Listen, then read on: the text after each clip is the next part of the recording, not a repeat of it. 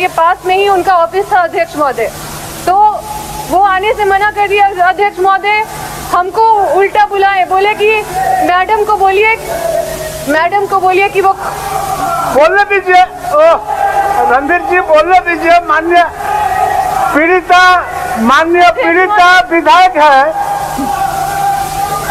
रणधीर जी रणधीर जी मान्य पीड़िता विधायक है महिला है। और बोल रहा है हम जानते हैं कि बाबा मंदिर आपके जिला में अवस्थित है। बोलिए हो गया आपका सूचना?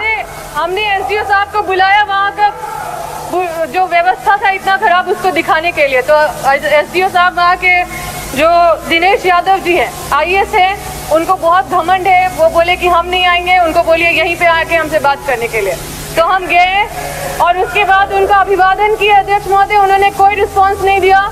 उल्टा हमको बोला कि आप और वो आपके साथ एक ही जाएगा बाकी सब बोलिए कि अपना लाइन में लगे। मंत्री जी एक्शन लीजिए अध्यक्ष महोदय। मंत्री जी एक्शन लीजिए। ये का मनोबल बढ़ा हुआ है।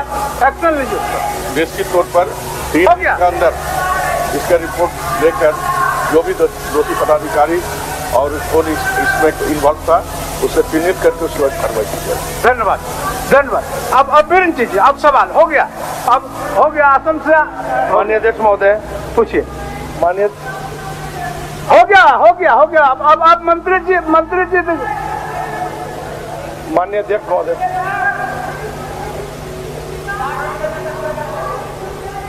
के पास हम गए तो वहाँ के जो महाप्रबंधक है वो आके बोलते आप अपना काम कीजिए हम भी विधायक बन सकते हैं। तो हम बोले हम यहाँ पे भक्त की तरह यहाँ पे आए हैं विधायक की तरह नहीं आए हैं। तो भी मतलब इतना खराब से व्यवहार किए, उसके बाद हम आके बैठ के अपना पूजा करने चले गए। मेरे सामने से मेरे पीए को घसीट के वहाँ से निकाला गया। उसके बाद वो छड़ी लेके खड़े थे और हमसे बहुत बदतमीजी से पेश आए, जो पूरा वीडियो आज पूरा झारखंड देख रहा है, अध्यक्ष महोदय। मेरा मांग है सदन की गरिमा को बचाने का मांग है, अध्यक्ष महोदय। ये हर किसी का बेजती है, अध्यक्ष महोदय। आप अध्यक्ष से पहले एक विधायक है, अध्यक्ष महोदय, और मैं पहले एक महिला हूँ। और वहाँ पे महिलाओं से कैसे बात करते हो वो महाप्रबंधक को अगर नहीं पता है और वो आस्था का मंदिर है अध्यक्ष महोदय वहाँ पे एक गरिमा मेंटेन करना चाहिए था अध्यक्ष महोदय। आप एक जाँच समिति बनाइए अध्यक्ष महोदय जिसमें सर्वदलीय जाँच समिति हो। मान्य सदस्य, मान्य सदस्य, और कार्रवाई की मान्य सदस्य आप आप सारी निष्कर्ष पर न जाएँ। आप सारे। सारे। अध्यक्ष महोदय। माननीय संसदीय कार्य मंत्री सदन के अंदर में है। मैंने संसदीय कार्य मंत्री को उन पर कड़ा एक्शन लेने के लिए कह दिया है। अब उन पर आप आस्था रखिए। माननीय संसदीय कार्य मंत्री का अगर कार्यकलाप से आप असंतुष्ट होंगे तो फिर आगे आपका जैसा ही होगा हम लोग आप करेंगे। बैठिए।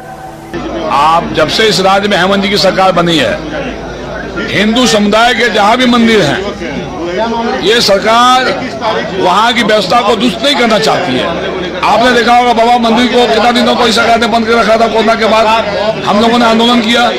तब मंदिर को चालू किया जब महाशिवरात्रि को इतनी भीड़ होती है, दो लाख से ऊपर श्रद्धालु वहाँ पहुँचते हैं।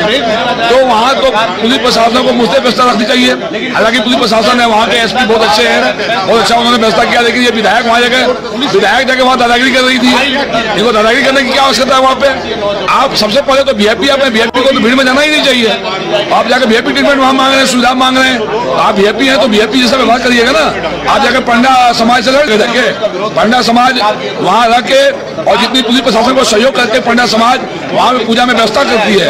और जहाँ तक रहा भीड़ में लाठीचार्ज करने की बात तो भीड़ को कंट्रोल करने के लिए कभी भी प्रशासन को थोड़ा सा करना पड़ता। है खबरों से जुड़े रहने के लिए हमारे चैनल झारखंड न्यूज़ को सब्सक्राइब कर ले। और कोई खबर है अगर आपके पास तो पहुँचाए हम तक। हम पहुंचाएँगे सरकार तक।